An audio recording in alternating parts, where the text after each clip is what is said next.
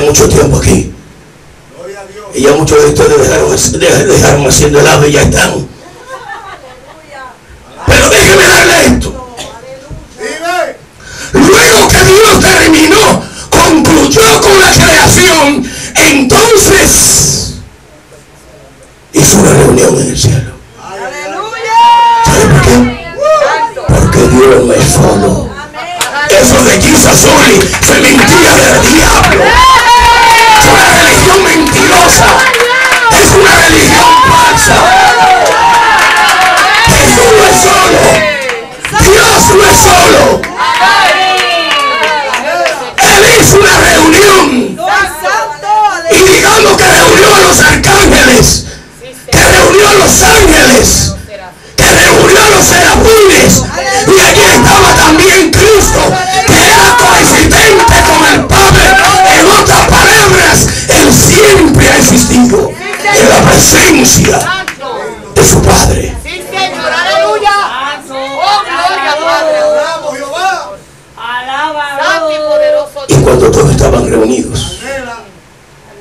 en el reino de Dios, el Señor le dijo,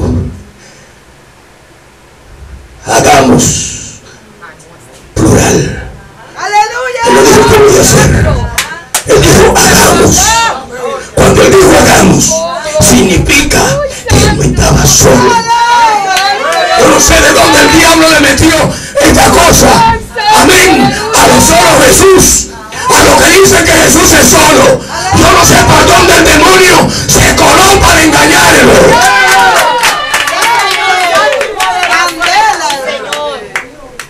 Pero el Espíritu me dice algo.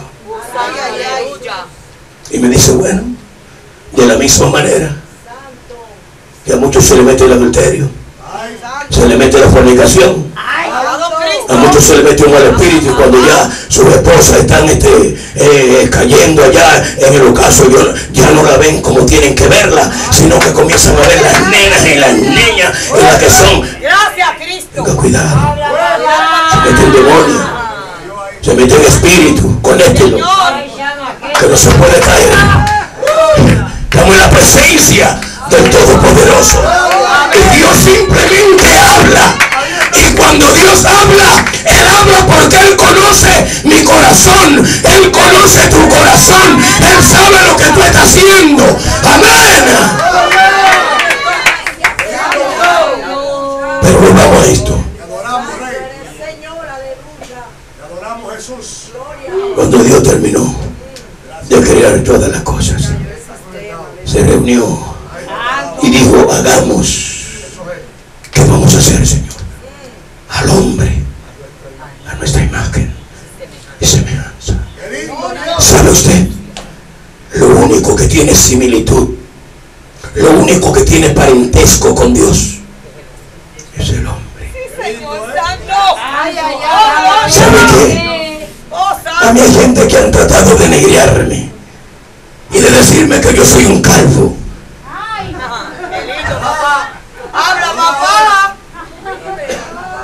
Y hay quienes me han dicho, no usted, que yo soy enano. ¿Sabe lo que no me pueden decir? Que yo soy imagen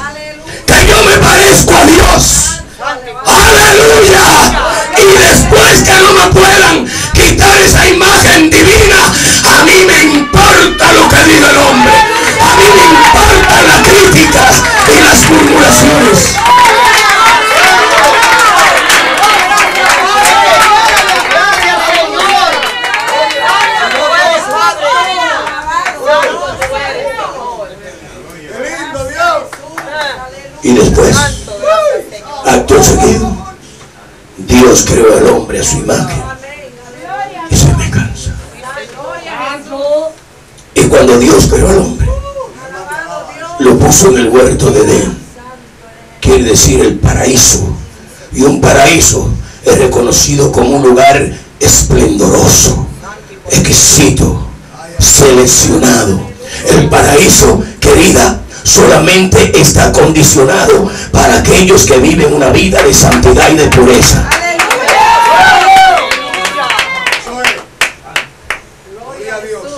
Déjame decirte, antes de que se me termine el mensaje, el paraíso, la gloria, la mañana presencia de Dios no está condicionada para la gente que está metida en Facebook,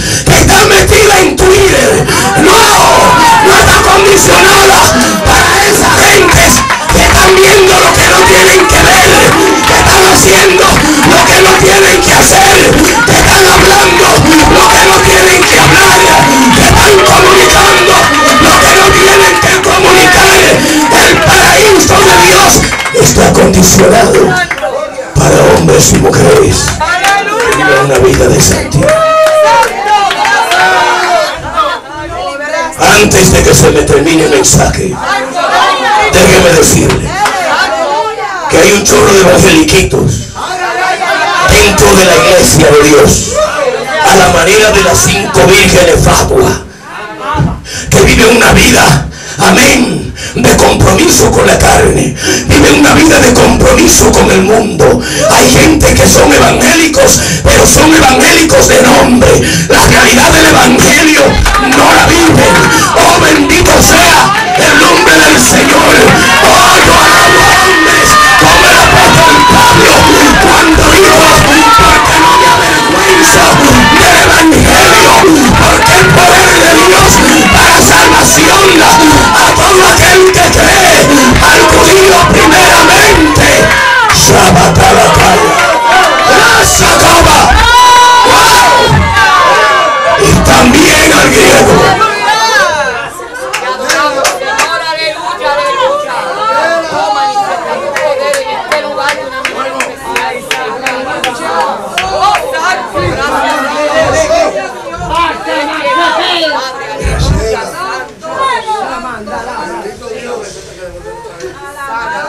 da gusto que el pastor de esta iglesia no me conoce. Y que los pastores y ministros de Dios que están aquí no me conocen. Que nadie puede decir no que yo le él habló con ellos lo conocen sabe y conocen esta iglesia y saben de aquel. Yo no sé de nadie. Pero ¿sabe qué? Dios conoce tu vida. Y sabe dónde te mete y sabe de dónde sale. Y trata de quedarte fuera al Señor pero tus flaquezas y tus debilidades tus deseos personales tus propias emociones te han presionado y vuelve de nuevo.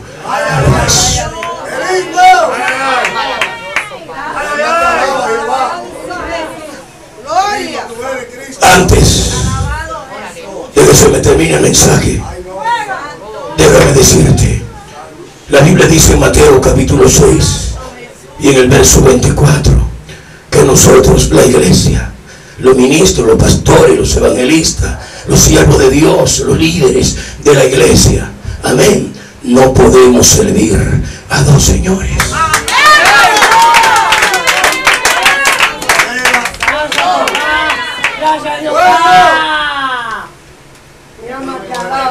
Y te da una razón lógica. Y te dice, ¿sabe por qué? Tú no puedes servir a dos señores. Amarás al uno y aborrecerás al otro. No podéis servir a Dios y a las riquezas. Y cuando habla de riquezas, no simplemente se está refiriendo a riquezas materiales, como el dinero. No solamente a eso, eso tiene que ver. ¿Sabe qué son riquezas? Lo que tú amas más que Dios. Esa cosa y esa práctica que tú y yo muchas veces usamos, quitando a Dios de su, del lugar de la santidad y del lugar de su justicia y del lugar de su amor y del lugar de su paz y entonces hacemos otra cosa.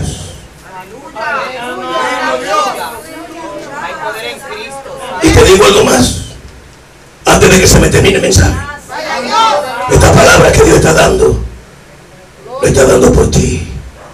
Porque Dios te conoce. Yo no sé de ti, pero Dios sí sabe. Y Él sabe lo que tú estás haciendo fuera de la voluntad de Él. Pero dejemos ahí, volvamos para terminar con la introducción, ya que el tiempo ha avanzado tanto. Y Dios creó al hombre. Y cuando Dios creó al hombre,